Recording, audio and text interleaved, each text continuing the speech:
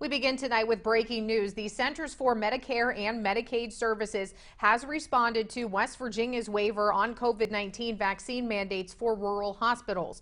According to West Virginia Senator Joe Manchin, rural health, rural health care providers will have maximum flexibility in meeting CMS's vaccine requirement.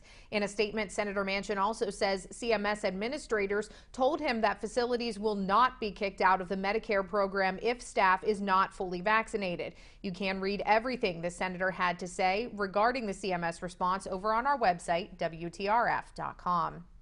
Our other top